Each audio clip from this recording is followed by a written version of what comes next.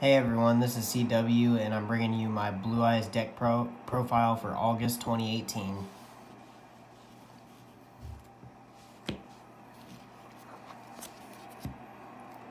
First, you have your most important card in the deck, your Blue Eyes White Dragon, and I have them in Ultimate Rares. I do have the starter deck Kaiba version, but I like playing with the Ultimate Rares because I, I love how they look.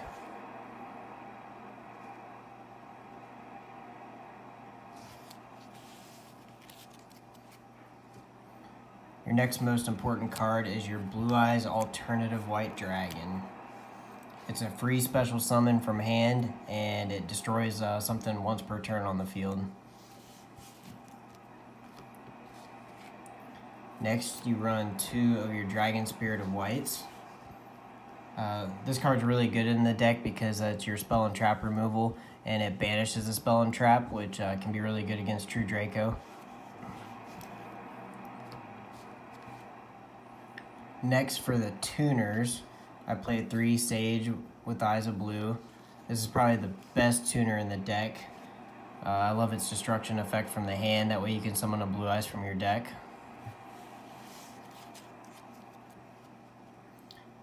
Then for the stones, I play three white stone of ancients and one white stone of legend. I've seen many blue eyes profiles and probably this is the most frequent ratio that I've seen for the stones. Next, I play one Master with Eyes of Blue. This card is actually really good. Uh, I love it's a graveyard effect. When you can target one effect monster you you control, send it to the graveyard, and if you do, you can special summon one Blue Eyes monster from your graveyard, other than the sent monster. Uh, it's really great. You can combo this off with your Spirit Dragon really well. Onto the spells. I'd probably say this is the most important spell in the deck. is called by the grave. Uh, hand traps hurt the Blue Eyes deck really badly, and the best way to combat that is with Called by the Grave. It allows your melody to go off. Next is the most important revival spell in the deck, Return of the Dragon Lords. It's good for revival, but it's actually better when it's in the graveyard. Uh, when it's in the graveyard, uh, any dragon monsters you control that would be destroyed by battle or card effect, you can banish this card instead and it protects your dragons.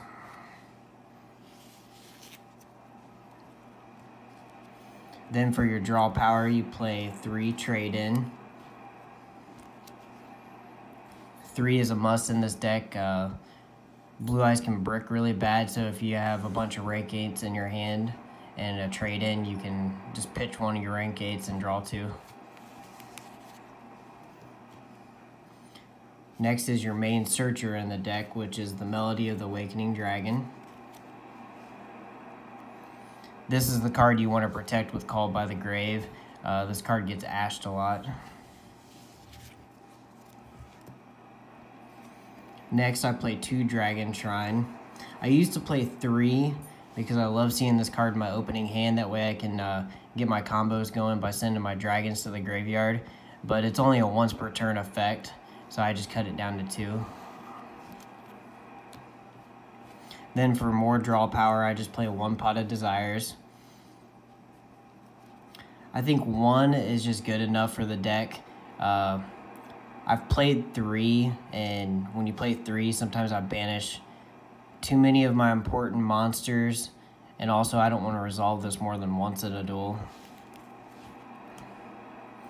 Then for my other one-ofs that I play is I play one Monster Reborn, one Soul Charge, one Raigeki, and one Upstart Goblin. Uh, Blue Eyes is known for breaking, so I want to play the Upstart to make it a 39 card deck to try to make it as more consistent as possible. Then something that's a little bit different in the deck is I play the Sky Striker engine.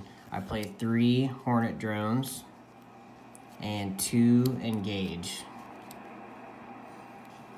One uh, another big problem with the deck is uh, it doesn't have a its own link monster for the deck yet, and the Sky Strikers add the power to the deck that it needs because you can get it help uh, drones helps you get as many mon uh, get your token to the field.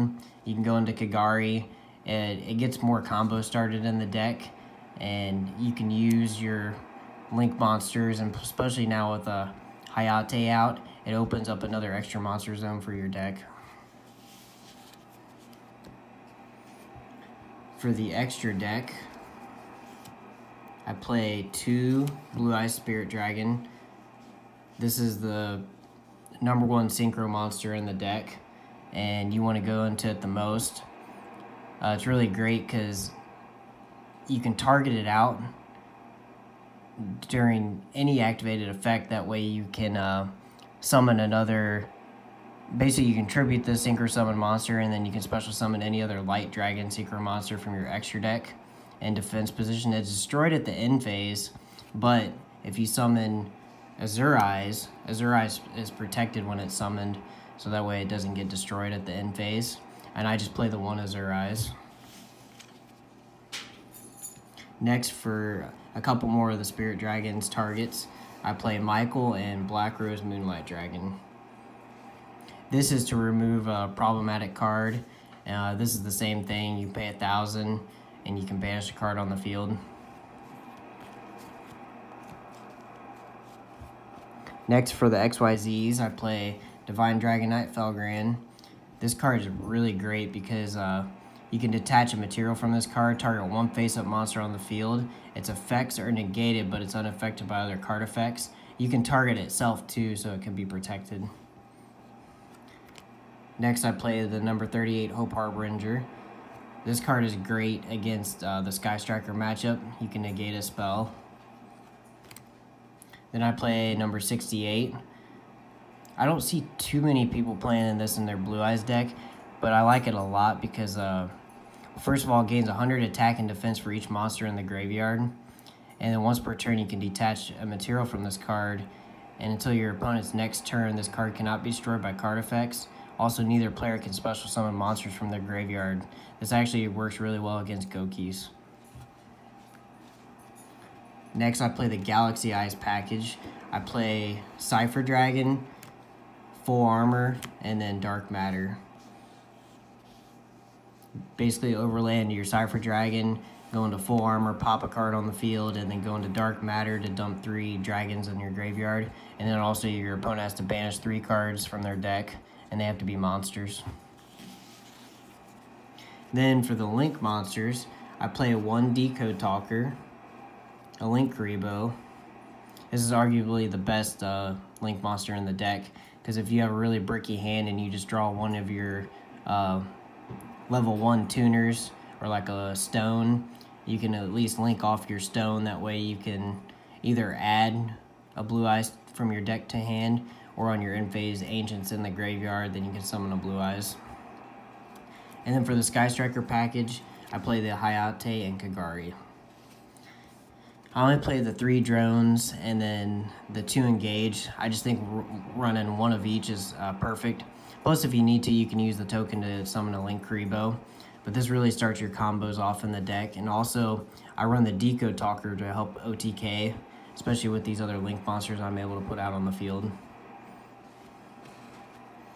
All right, that wraps it up for the Blue Eyes deck profile. I hope you enjoyed it. Uh, please like and subscribe, and have a great day.